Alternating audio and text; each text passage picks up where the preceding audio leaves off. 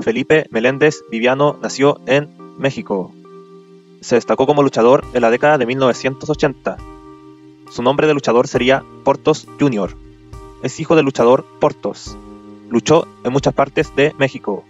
Felipe también fue referee de lucha libre. Felipe Meléndez falleció el 5 de julio del 2021 a sus 62 años.